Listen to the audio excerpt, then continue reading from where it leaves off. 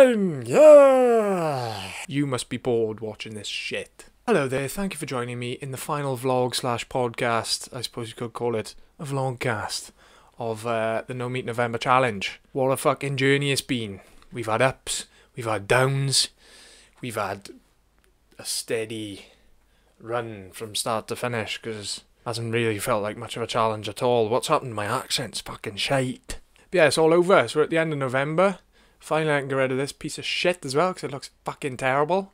And as of tomorrow, I can go back to eating meat, which uh, I'm not that excited about really because I haven't really missed it at all. But we'll get into that very shortly. Now, for those of you who've just tuned in, just joined us, first point, where the fuck have you been all month? There's another three fucking awesome episodes of this to uh, to catch up on. But anyway, I'll give you a quick rundown of what's been happening. So yeah, no, no meat November involved not eating meat during November, which is fucking mind blowing, isn't it? Now it's worth noting that I did eat fish throughout the challenge, but no land-based meat source was consumed during this challenge. Ah yes, that was the main target, but the I also set myself a target of cutting a little bit of body fat. So I weighed myself weekly throughout the challenge. That was it. That was my only way of monitoring my progress. That and looking in mirrors and at photographs. Photographs? Does anyone even say photographs anymore? Photos, pics, images, snapshots. I actually had access to a bioelectrical impedance scale, which I could have used throughout the challenge to track my progress, but uh, long story short, I couldn't be fucking asked because they're not that accurate anyway. They're affected so much by your hydration. I think, well, even for me, right? So I'm, I know I'm a well hydrated human being because I stay on top of that. But I had a result before using a bioelectrical impedance scale, the name of which will remain nameless. Tanita. And I did two measurements one week apart, and the scale reckoned I'd gained about two kilos of muscle in a week and dropped two kilos of fat, which probably didn't happen, let's be honest. And I actually completed both tests under exactly the same conditions, so I well hydrated, same time of day, it was in the morning, and I got results that, that were that different. So, um, yeah, I'd take any results you've got on them, take them with a pinch of salt, especially metabolic age. They'll tell you you're fucking 63 one week and then 14 the next. So they're a bit of a bag of shit, to be honest with you. But uh, if they do give you a little boost as they're tracking your progress, then crack on, keep using them. I'm not going to bother personally. I could have done body measurements, you know, I could have got the old measuring tape out, going around the biceps. I'd have had to get a load of fucking tape because them some big guns. Mad! Do the old waist circumference, etc. But again, I couldn't really be asked, so um, cut me some slack. I would have had a DEXA scan if I had access to one and if I could afford one, but I couldn't. So uh, yeah, it is what it is, and it was what it was. Doesn't make any fucking sense. Yeah, I've logged my food intake throughout the month. I've set myself a calorie target and a protein target to stick to. Uh, so the first two weeks I was in a deficit. Third week I was supposed to do a diet break. Failed miserably. Set myself a target that was too low or was sloppy with my with my login, and um, yeah, that didn't quite go to plan. So it was another diet break again this past week, and I'd done a weigh in this morning, and I'm exactly the same weight as I was last week, give or take 0.1 or 2 of a kilo. So yeah, it's been a better week. Stuck to the plan and uh, got the results I was after. So happy fucking days. Now, It's also worth noting something I picked up when I was editing last week's episode, as I mentioned metabolic adaptation a few times. Now, adaptation's not a fucking word. Good England, bad.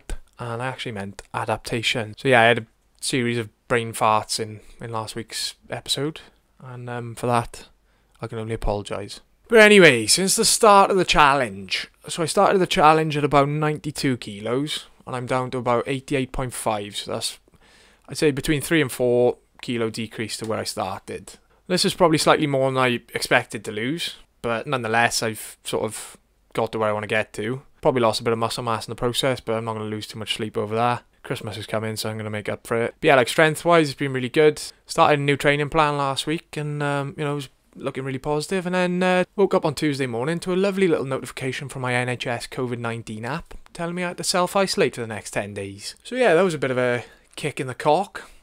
Again, from 2020 and COVID. Fuck you, COVID.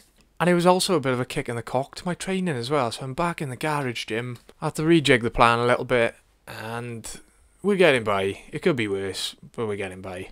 But, you know, we're, we're faced with these challenges in life. We've got to adapt. We've got to overcome. We've got to go through it. You're gonna go through the barrier. There's no way over it. There's no way under it. There's no way around it. You're gonna go through it. The fuck am I talking about? I'm losing the fucking plot there, honestly. Fucking hell. But anyway, I'm back out on Saturday.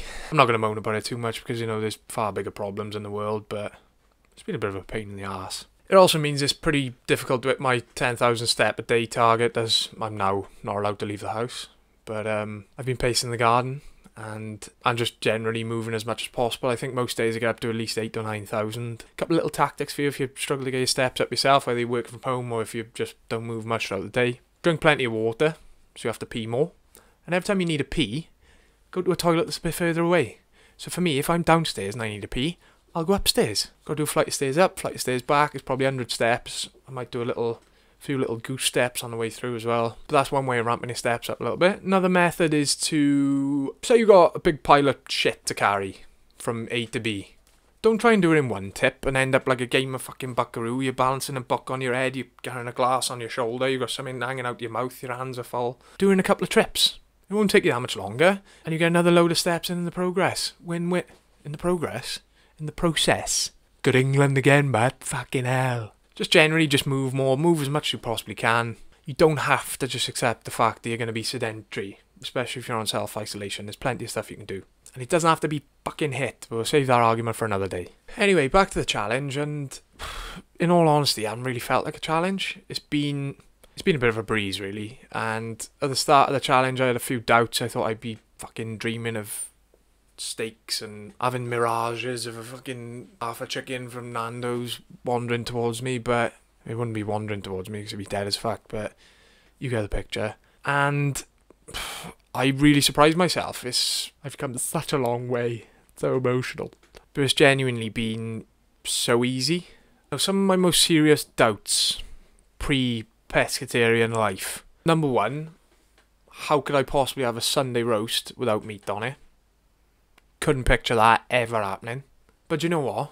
I'd quite happily have a fucking Linda McCartney veggie roast or whatever the fuck it's called. Or last Sunday we had a. I'm counting again. I'm counting, counting all my vegetarian roasts. But last Sunday we had a Quorn veggie like a vegetarian length. Tastes like chicken. It's mental. Like you would honestly whack on a fork with a few peas, Yorkshire pudding, roasty, maybe a carrot. Wouldn't know the difference. Ridiculous.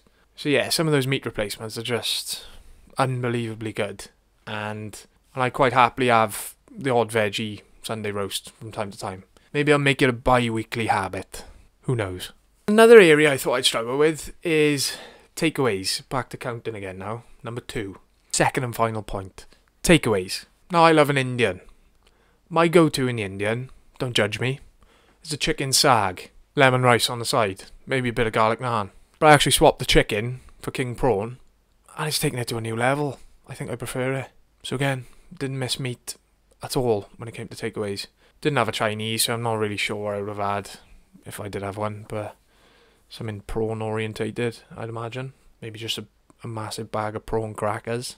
Saying I would have struggled to get in my calories for the day, wouldn't I? it's the one one downside to all the Quorn, it makes so awful windy. Uh, and yeah, I even experienced a veggie Nando's for the first time and that was pleasant. So yeah, there's been a lot of pleasant surprises along the way. It hasn't really been a challenge at all, like I said. And I haven't really been counting down the days till I reintroduce meat into my life. And while we're on that point, moving forward, I will reintroduce meat into my life, but it's made me realize even more so that you don't need that much of it. You know, I've already mentioned some of the environmental factors with, with cattle farming and stuff and the effect that's having on the environment. Planet's fucked, right? We're, we're worried about COVID. A few years down the line, we're all fucked because the planet is in shit street. And I would urge anyone, I'm not going to preach now because I'm not a fucking full time veggie or vegan extremist. But you know, we can all do our bit. You don't need that much meat, especially beef. You don't need that much of it. If you're the biggest meat eater in the world and you think you can't live without it, you can. Like it's way easier to cut down than you think it is. But yeah, that's pretty much us. That's that's about a wrap on uh, No Meat November. Biggest takeaways from the challenge are that I don't need as much meat in my diet as I thought I did. I can still have a takeaway.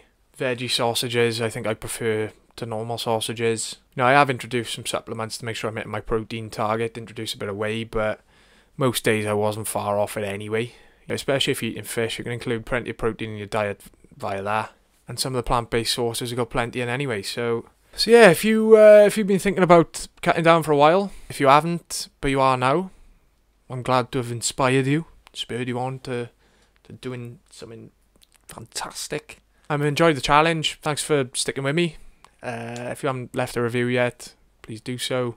Leave me a rating, give me a like. If you don't like it, you don't have to watch it. Don't give me a fucking thumbs down or a shit review or a one star review on podcasts. That's fucking grow up. Go somewhere else. Go and do something more interesting. But yeah, thank you very much. If you like any recommendations or if you'd like to work with me personally, slide me a DM and I'll be happy to help. Thanks for coming. Go and fuck yourself.